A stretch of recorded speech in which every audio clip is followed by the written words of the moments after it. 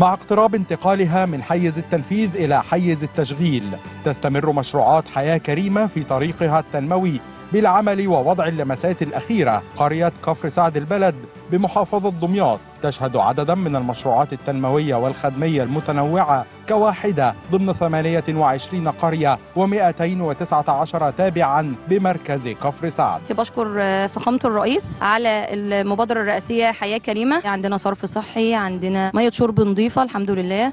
آه، عندنا ألياف ضوئية. برضو المركز التكنولوجي. ما شاء الله عملوا الموقف والمدرسة واخد بالك؟ وكل والصرف الصحي وال...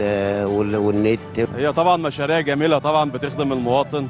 تمام يعني عاملين المدرسة والمطافي ونقطة الإسعاف. كنا محتاجين مدرسة واتعملت الحمد لله الوقت. الصرف الصحي بادئ يشتغل حلو وهيجي بعديه الغاز إن شاء الله. ده طبعا مشروع جميل جدا. والأجمل كمان تبطين الترعة بالنسبة لنا كفلاحين.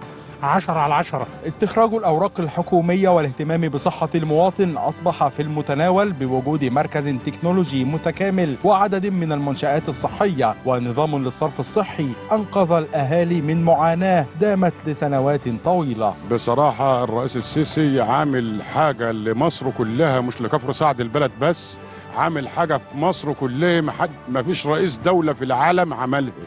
إحنا عندنا حياة كريمة معمول لنا حاليا النت الصرف الصحي المية كل شيء. السيد الرئيس يشكر. بطل لنا الترع وعمل لنا صرف في البلد والمية دخلنا مية جديدة. أهم مشروعات اللي إحنا شايفينه الوقت الحاجات اللي كانت المفروض تتعمل ونشوفها من 30 سنة إحنا بنشوفها النهارده وأنا سعيد ان أنا بشوف الصرف الصحي الموقف المركز شباب نقلة حضارية تتحقق على أرض كفر سعد كنموذج متكرر في قرى ونجوع مصر الأولى بالرعاية لتتزين القرى بمشروعات لم تكن تعرف طريقها لهذه الأماكن قبل دخولها عهد الجمهورية الجديدة ويصبح لكفر سعد نصيبا من اسمه.